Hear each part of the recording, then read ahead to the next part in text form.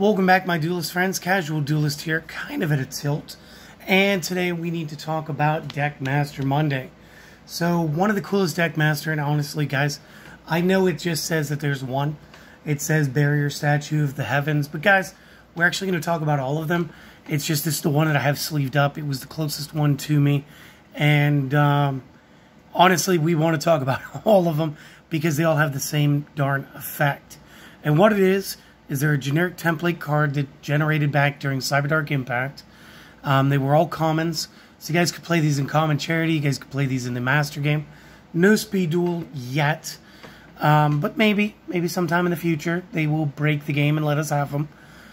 But they are all a four star of each of the six attributes, all 1,000 by 1,000 with the effect that no monsters can be special summoned except matching attribute.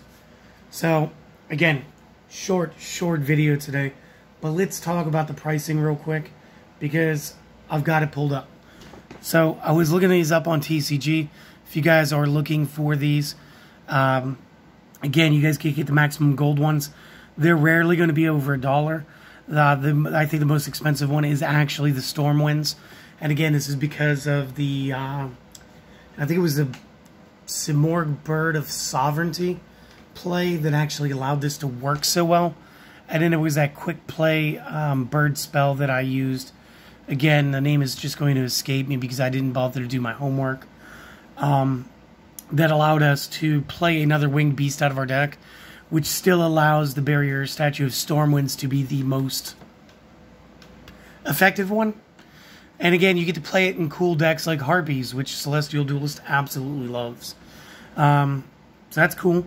And then, of course, you've got Drought, you've got the Abyss, you've got the Inferno, Torrent. Uh, and again, you have all of the uh, Cyberdark Impact variants as well. Again, Stormwind's going to be the most expensive. Um, so if you guys are looking to pick up a set of these, I would say just go for it. Um, they're always going to be useful cards. And as far as playing a speed duel, or sorry, as far as playing a deck master challenge, all you have to do is make sure that your deck is one attribute. This is like having a Gozen Match Plus as a monster, except it only works for you. So again, you want to play, and we're just going to use all of Celestial's decks real quick. If you're going to be playing Black Wings, you know you want a special summon, so just play the Barrier Statue of Abyss. And then again, you know, dark attribute, very common. Your opponent might be able to play Yu-Gi-Oh! If you're going to play something like a water deck, go ahead, play the Torrent statue. And then what's your opponent going to do? Sit there and grump?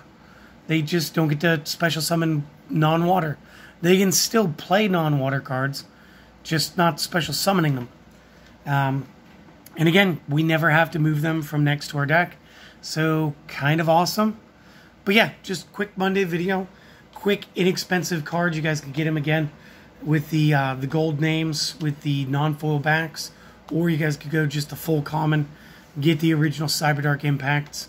Uh, not much in the way of word changing, just like an updated, if you like a little foil on your card. Um, but outside of that, guys, hopefully this is going to be a great start to another great week for you guys. If you'd like to support the channel, do the things. If not, hey, just keep showing up, and that's enough for me. You guys have a lovely day, and hopefully we'll get to see you again tomorrow. See you later, my friends.